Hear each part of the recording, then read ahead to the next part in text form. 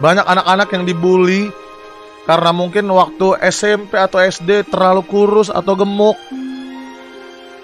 Mereka dibully lalu mereka jadi malas ke sekolah dan merasa dirinya orang yang paling rendah. Enggak, guys.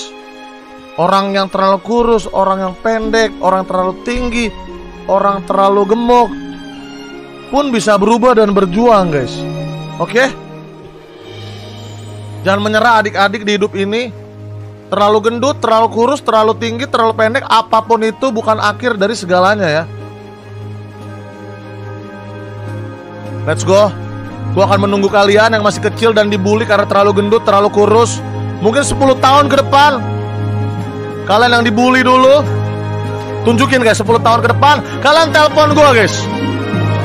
Telepon gua 10 tahun ke depan bilang, "Bang Winda, aku dulu gendut." Bang Winda, aku dulu kurus, terlalu kurus.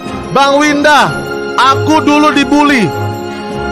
Dan saat 10 tahun ke depan kalian telepon gua guys, katakan ke gua guys, Bang Winda, aku dulu dibully dan sekarang aku sukses, Bang. Oke? Tunjukin kalian semua bisa sukses. Tunjukin ke orang-orang yang bully kalian secara fisik.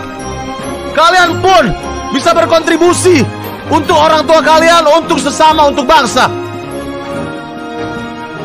Tunjukin guys. Dibully secara fisik bukanlah akhir dari segalanya. Telepon gue 10 tahun lagi, oke? Yang masih SMP, SD, SMA, gue tunggu telepon kalian 10 tahun lagi, guys. Telepon gue saat kalian sudah sukses, oke? Lihat guys, kita belajar dari CJ guys. Walaupun dia gendut tapi dia berjuang terus, coy. Oke, gue tunggu sekali lagi telepon kalian, teman-teman, adik-adik. Kalian yang dibully saat mungkin SD, SMP, SMA. Gue menunggu telepon kalian 10 tahun ke depan, guys, saat kalian sudah sukses. Kita buktikan kepada para pembuli-pembuli ini, kita buktikan dengan tidak kekerasan, guys. Kita buktikan dengan karya, dengan karir, oke? Dan saat bertemu dengan tukang bulinya, saat kalian sudah dewasa, kalian bilang ke dia, guys. Hey, uh, Jamal atau siapa pun namanya, gua nggak dendam sama lo. Terima kasih sudah bully gua saat gua kecil. Karena dengan lo ngebully gua pas gua kecil, gua bisa jadi lebih semangat dalam menjalani hidup dan lebih semangat untuk sukses.